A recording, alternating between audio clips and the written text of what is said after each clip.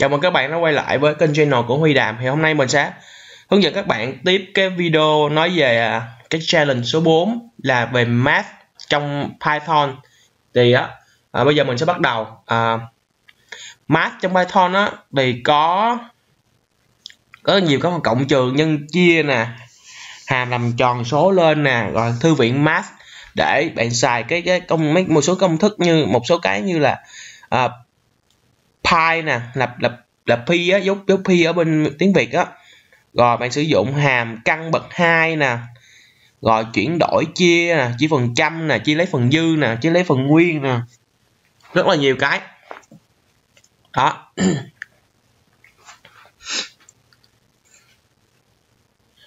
Rồi, bây giờ mình sẽ bắt đầu viết một số cái để cho các bạn biết được. Bây giờ mình sẽ nhập thử một số một con số vô int number bằng in, um, input.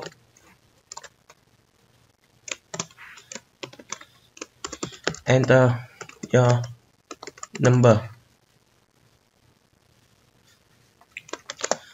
Rồi cái bài toán này á mình sẽ nhập kiểu một kiểu số thật đi kiểu số thật flow.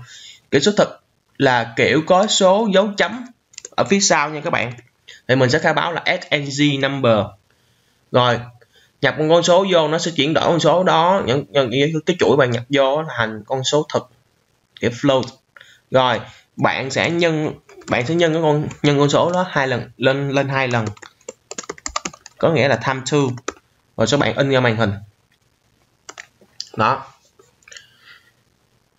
Thì ở con số thực này có thể là một con số là 7.5.6.7.8.9 gì đó phía sau rất là nhiều con số, bạn sẽ in một con số rất rất là dài.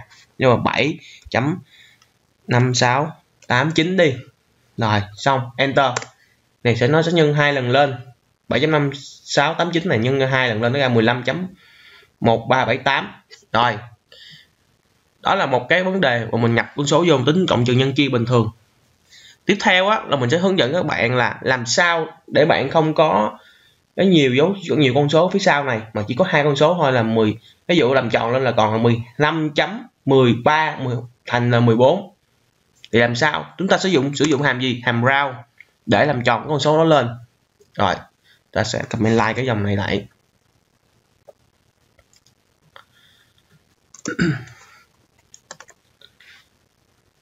Cũng như vậy luôn. Rồi chúng ta sẽ làm gì?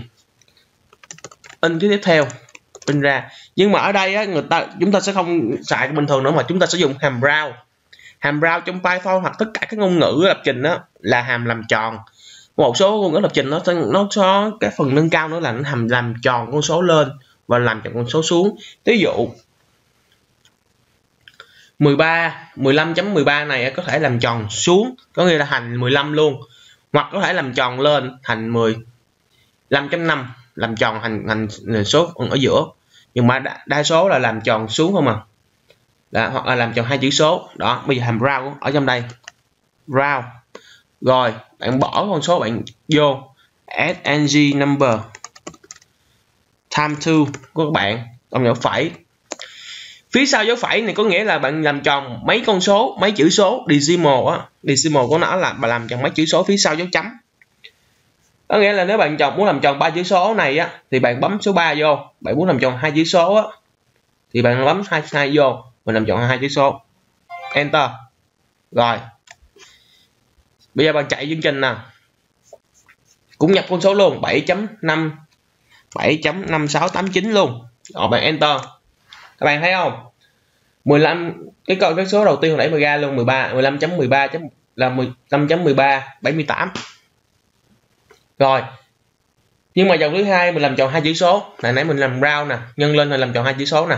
Rồi ra là 15.14 con số 7 làm tròn lên thành làm 4 đó. Rồi tiếp tục. Chúng ta sẽ đi qua sử dụng à, thư viện math trong Python. Thì muốn muốn để sử dụng được thư viện math trong Python đó các bạn dễ lắm. Các bạn chỉ cần ghi từ khóa là import. Rồi math rồi đơn giản vậy thôi là bạn bạn có thể bây giờ bạn trong mấy dòng lệnh của các bạn các bạn có thể xài được cái thư viện math này rồi. Rồi một bài toán ở đơn giản. Hàm hàm lấy căn đi. Ví dụ căn 25 là bằng nhiêu? Bằng 5 5 x 5 là 25 thì căn của 25 là bằng 5 đó. Rồi. Bây giờ à, cái đó là kiểu số thực. Ng number. Bằng float uh, input vô. Enter. Your number to square root. Đó.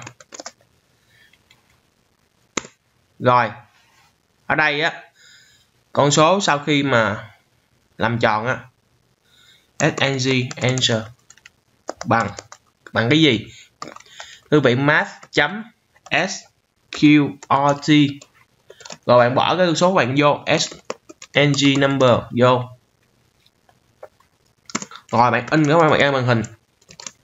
Thì con số của bạn á bạn có thể làm tròn lại lên lại làm đồng hai con chữ hai chữ số. Sng number. Hoặc à, oh, sng answer. Đó làm tròn hai chữ số. Rồi xong. Mình sẽ chạy hai lần. Một lần là mình con số của mình là số rất là đẹp. Con số 25 để làm chọn là bao nhiêu? Là hàng năm. Lần thứ hai là nhiêu? À 25.25 đi bao nhiêu? 5.02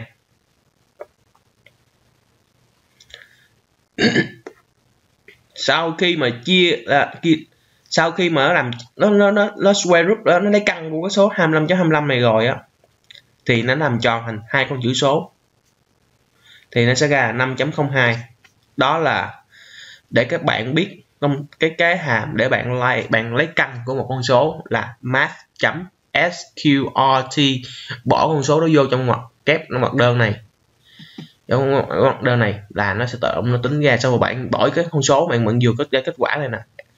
Answer này là bạn dỗ vô cái hàm rau và bỏ vô bao nhiêu chữ số? Hai chữ số, bạn bấm số 2 vô, này sẽ nó làm tròn lên thành hai chữ số rồi. Tiếp theo à, bây giờ làm mình sẽ làm một cái bài toán là tính gì? À, tính chu ờ, tính tính chu vi hay diện tích? Tính chu vi. Tính chu vi hay diện tích của của của hình hình hình tròn là chu uh, à, gì ta? PR bình. Hình như là P, PR bình á. PR bình. P nhân R. Là tính P nhân cho R bình phương lên. Đó. Rồi. Sng radius. Bằng float input. Enter your enter the radius of the circle. Rồi uh, à, energy area. Bằng bằng cái gì? Bằng pi nhân cho r bình phương luôn. Là r bình r square. Thì math chấm pi. Đó. Xong rồi bạn time cho r của bạn là sng radius. Bình phương ở trong python đó các bạn, nó dễ lắm. Nó không có sử dụng hàm gì chân á. Mà bạn chỉ cần đi hai lần dấu nhân lên. Còn số 2 có nghĩa là nó sẽ tự hiểu là hai dấu nhân này là là dấu bình phương nè. Đó. Nếu mà bạn, hai lần dấu nhân lên bạn, số 3 là bình, là lập phương đó. Đó là dễ. Hai. Xong. Bạn chỉ in ra màn hình. Cái SNG area này. Rồi, mình sẽ chạy lên. Radius của mình sẽ là bằng 5 đi. Đó, sau khi mình tính cái area nó ra, bạn thấy con số nó quá dài không bạn? Tại vì sao? Thì mình không có dùng hàm rau. Cho nên nó hàm nó quá quá quá trời là dài dài dài luôn. Đó. Bây giờ, mình sẽ bỏ hàm rau vô đây. Round ở nhân số này ra hai chữ số thôi. Rồi, xong. Chạy chạy lại.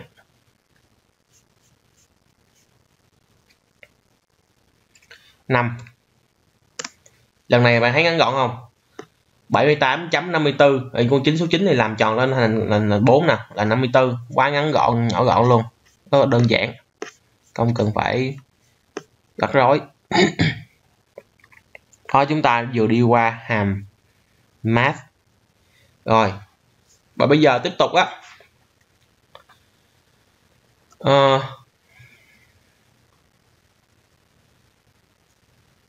chúng ta sử dụng ờ, một số cái như là cộng trừ nhân chia đi cộng trừ nhân chia dễ rồi các bạn. Cộng trừ nhân chia chia bình thường á là dễ rồi.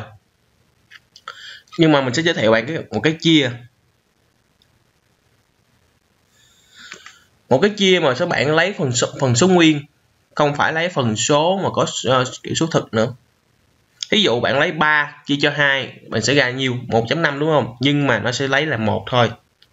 Còn 0.5 nó sẽ bỏ đi. Còn là 7 chia cho 2 ra 3.5 nó sẽ lấy 3 thôi không lấy không không không không lấy cái phần 0.5 đó đi. Rồi mình sẽ nhập vô cho các bạn coi.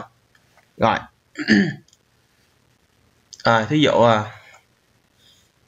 gì ta à, int number one. Int oh, input. Enter your number one. Xong. Giờ copy cái này cho nó lẹ đó. Chọn dòng thứ hai. Number two. Rồi sau đó bạn sẽ hàm in nó ra. Print. Uh, int. Number one. Number one. Hai lần chia. Chia suyệt suyệt này là chia lấy phần nguyên thôi. Đó int. Mình chỉ nói đơn giản thôi chứ trên trên web nó không nói gì đâu. Nhưng mà mình nói cho bạn dễ hiểu bạn hình dung được nó, vấn đề đó. Rồi, giờ, nè, chạy thử nè. Nhập con số 7 đi. Rồi, số number chưa là số 2 đó các bạn ra bao nhiêu? Mình nói ra ba đó. Đó, thấy không? Rồi. Nhập con số 9 chia cho 3 bằng ba luôn. Tại 9 chia ba ra bằng ba rồi đâu có, đủ dư gì đâu. Nó, nó cũng lấy phần, số đó luôn. Rồi. Giờ mình nói 20 nè. Chia cho ba nè. Đó các bạn ra bao nhiêu? Cho các bạn 5 giây bạn suy nghĩ.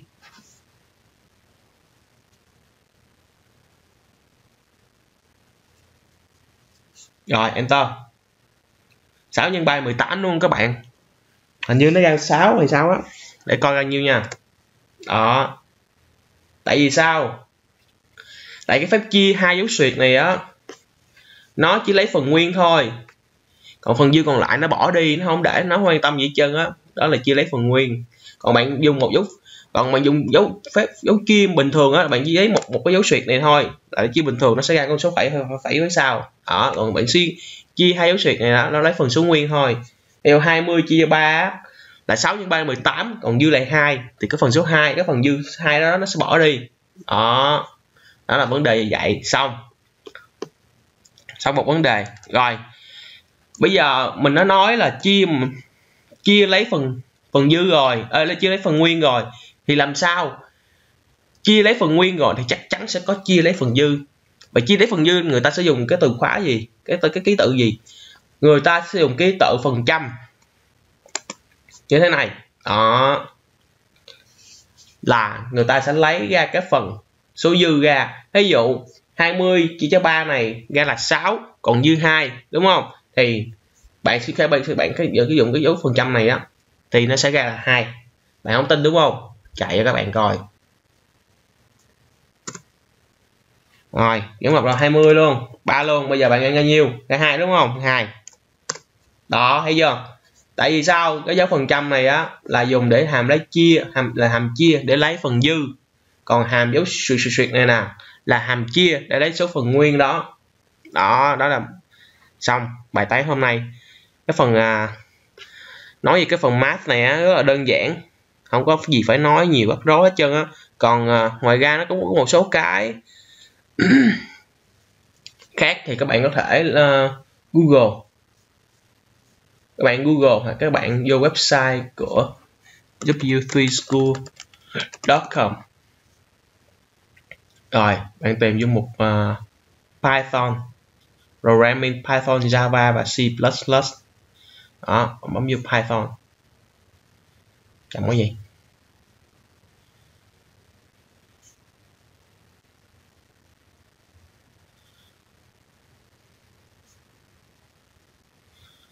man mạng đúng yếu luôn.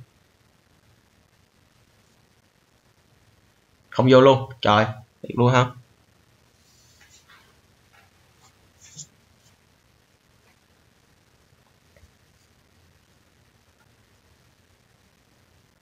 Chơi gì?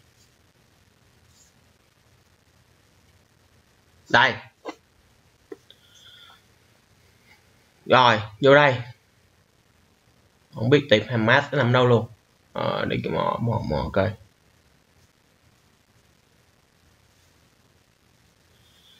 Python rồi không thấy Hamas đó luôn rồi đơn giản bấm vô đây. Math Python đây. À,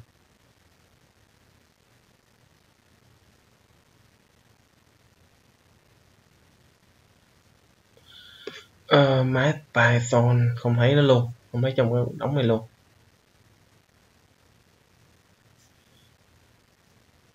Nhưng mà nó math python có hàm pound nè các bạn. Python có hàm pound bạn có nghĩa là bạn muốn mũ bao nhiêu cũng được hết trơn. Thì 6 mũ 11 cũng có được luôn. Đó 6 mũ 11 cũng được luôn. Có nghĩa là bạn sẽ điền 6 là phần con số của bạn còn mũ bao nhiêu? Mũ số 10 mũ 3 hoặc là mũ 11 vô đây. Đó là bạn nhìn cái ví dụ là bạn hiểu được vấn đề luôn rồi đâu không cần phải giải thích nhiều.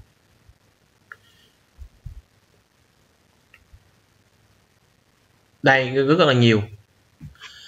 Hàm ABS là hàm absolute value number. Có nghĩa là hàm chỉ, chỉ tuyệt đối các bạn. Ví dụ bạn gặp con số trừ 5 vô đi thì cái hàm này nó trả lại con số 5 đó.